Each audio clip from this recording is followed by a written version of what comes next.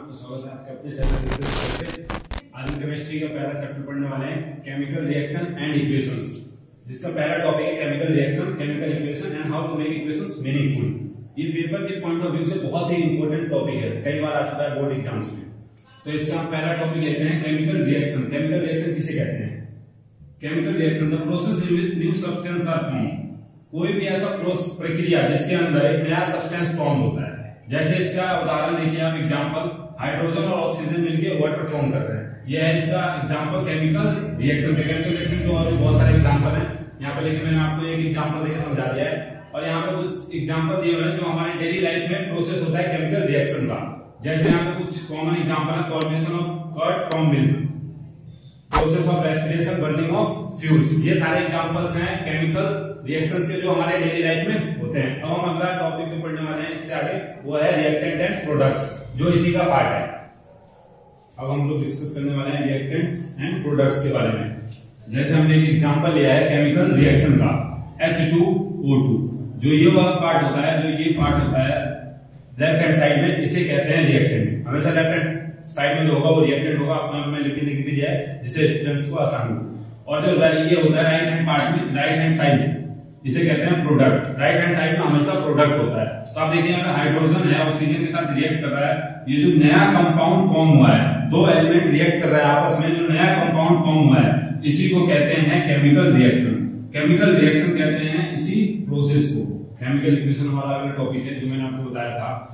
Chemical equation किसे कहते हैं? The symbolic representation representation of a chemical reaction in the form of symbols and formula chemical reaction का ये क्या होता है? सिंबॉलिक रिप्रेजेंटेशन है होता है. सेम हाइड्रोक्लोरिक एग्जांपल इसके नाम लिखा है, बहुत अच्छा एग्जांपल लिखा है. हाइड्रोक्लोरिक एसिड प्लस सोडियम बाईपास सोडियम क्लोराइड प्लस हाइड्रोजन अब इस, ये जो लिखा है हमने हाइड्रोक्लोरिक एसिड सोडियम ये है केमिकल रिएक्शन अब इसे, इसको हम सिंबॉलिक रिप्रेजेंटेशन जो यहाँ पे दे रहे हैं, इसे कहेंगे हम लोग केमिकल इक्वेशन देखिए यहाँ पे जैसे हाइड्रोक्लोरिक एसिड एच आ गया. सोडियम के लिए Na आ गया और sodium chloride NaCl plus H2 H उसके लिए सिंबल के लिखा बाद में हमने इसे बैलेंस कर दिया है। अब हम आगे पढ़ेंगे इस, इसी के आगे पढ़ेंगे balance and unbalance chemical equations अब हम आगे अपने अगले टॉपिक पे अनबैलेंस्ड केमिकल इक्वेशंस बहुत इंपॉर्टेंट टॉपिक है बैलेंस अनबैलेंस केमिकल इक्वेशंस अब पहले देखते हैं अनबैलेंस केमिकल इक्वेशन किसे कहते हैं। Number of atoms are unequal number of atoms जो होते हैं इसके अंदर वो केमिकल इक्वेशन में क्या होते हैं? अनबैलेंस होते हैं। अनइक्वल होते हैं। अनइक्वल होते हैं, इसीलिए अनबैलेंस होते हैं। अनइक्वल कैसे होते हैं? यहाँ पे हाइड्रोजन दो दिया है ऑक्सीजन दो दिया है, और यहाँ पे H2O है। यहाँ पे हाइड्रोजन का दो पार्ट का है, लेकिन ऑक्सीजन अकेला है। तो ये क्या हो गया? ये अनबैलेंस हो गया।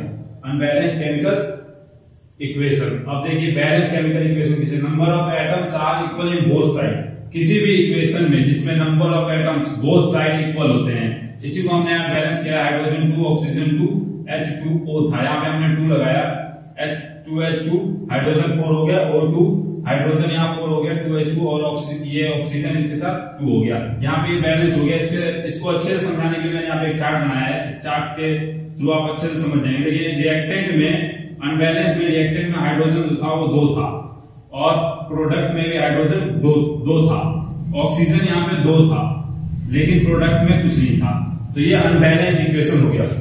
एक एटम थे नंबर ऑफ़ एटम्स वन था इसीलिए अनबैलेंस हो गया. Number of atoms are one इसलिए अनबैलेंस केमिकल इक्वेशन हो गया.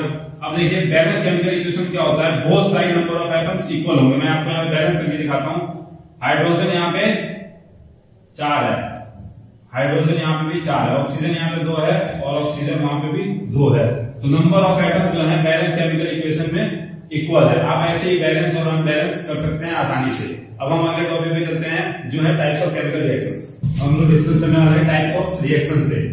टाइप्स ऑफ़ रिएक्शंस पाँच टाइप के होते हैं। पहला है combination reactions decomposition reaction displacement reaction double displacement reaction oxidation and reduction जिसे रिडॉक्स रिएक्शन भी कहा जाता है, जिसे आपको आप बहुत अच्छे से समझना होगा और इस वीडियो में आगे बहुत अच्छे से समझाया जाएगा।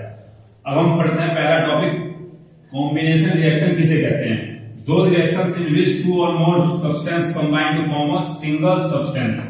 दो और दो से ज़्यादा सब्सटेंस मिलके, जब भी एक सिंगल सब्सटेंस बनाएँगे, उसे कहते हैं कॉम्बिनेशन रिएक्शन यहाँ पे सबसे अच्छा एग्जांपल दिया है मैग्नीशियम प्लस ऑक्सीजन मैग्नीशियम अकेला ऑक्सीजन अकेला। दोनों ने मिलकर यहाँ पे नया सब्सटेंस बनाया, जिसे मैग्नीशियम ऑक्साइड कहेंगे। जो ये मैग्नीशियम ऑक्साइड बनाया है हो गया कॉम्बिनेशन रिएक्शन अब हम आ गए अपने केमिकल रिएक्शन के दूसरे सबसे important topic decomposition reaction decomposition reaction किसे कहते हैं? Those reactions in which compound splits into two or more simpler substance ऐसा रिएक्शन जिसके अंदर कंपाउंड जो है दो और दो से ज़्यादा सिंपल पार्ट में टूट रहा है। जैसे यहाँ पे एग्ज़ाम्पल दिया हुआ सबसे अच्छा कैल्शियम कार्बोनेट लिया हमने C S C O three calcium carbonate को हीट देकर कैल्शियम ऑक्साइड और कैल्शियम कार्बन डाइऑक्साइड बनाया जा रहा है। यहाँ पे आप देखिए, यहाँ पे डिकम्पोजिशन रिएक्शन में कोई भी कंपाउंड जो होता है, उसको टूटने के लिए हीट इलेक्ट्रिसिटी लाइट कुछ भी यूज़ किया जा सकता है। हमने यहाँ पे हीट देकर एक कंपाउंड कैल्शियम कार्बोनेट को तोड़ा है। कार्बन कैल्शियम ऑक्साइड और कार्बन डाइऑक्साइड में। हम आ गए अपने अगले topic displacement reaction displacement reaction किसे कहते हैं? One element take place of another element in a compound ये सबसे छोटी और सबसे अच्छी डिफाइन लिखी गई है यहाँ पे। एक एलिमेंट जो होता है, वो दूसरे एलिमेंट की जगह एक्सचेंज कर देता है किसी भी कंपाउंड के अंदर। जैसे यहाँ पे देखिए कॉपर सल्फेट है वो रिएक्ट कर रहा है जिंक के साथ। और यहाँ पे क्या हुआ? जिंक ने एक्सचेंज कर दिया कॉपर के साथ। जिंक ने कॉपर के साथ एक्सचेंज किया तो नया कंपाउंड बना जिंक सल्फेट जो कि कॉपर सल्फेट था। और यहाँ पे C U C U Z N की जगह एक्सचेंज करके आ गया।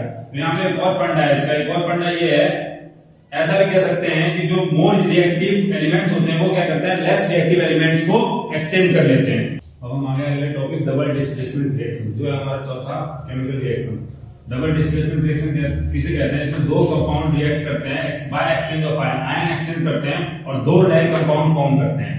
जैसे हम एग्जांपल दिया हुआ बहुत अच्छा एग्जांपल दिया है AgNO3 सिल्वर नाइट्रेट है उसने रिएक्ट किया सोडियम क्लोराइड के साथ. और यहाँ पे फॉर्म हो गया सिल्वर क्लोराइड यहाँ पे आपको आयन समझना है. यहाँ पे Ag के साथ प्लस था, इसके साथ माइनस था, इसके साथ प्लस था, इसके साथ माइनस था. तो Ag ने क्या किया? सीएल के साथ एक्सचेंज ऑफ़ आयंस किया। तो AgCl सिल्वर क्लोराइड बन गया और एक्सचेंज ऑफ़ आयंस भी हो गया। उसके बाद क्या होता है? Na NO3 ने Na के साथ एक्सचेंज ऑफ़ आयंस किया। तो यहाँ पे हमारा एक नया कंपाउंड बन गया सोडियम नाइट्रेट जो कि Na प्लस चार्ज के साथ, Na नाइट्रेट निगेटिव चार्ज के साथ। ये एग्जांपल है डबल डिस्प्लेसमेंट का। अब हम आगे अपने टॉपिक ऑक्सीडेशन एंड रिडक्शन अब दोस्तों हमारा अगला जो टॉपिक है, वो है ऑक्सीडेशन रिडक्शन एंड रिडॉक्स ये ऑक्सीडेशन रिडक्शन जो रिएक्शन है, ये बहुत ही बड़ा टॉपिक है, जो हम एक इसके लिए अलग सेपरेट वीडियो बनाएँगे और उसमें आपको समझाएँगे। Thanks for watching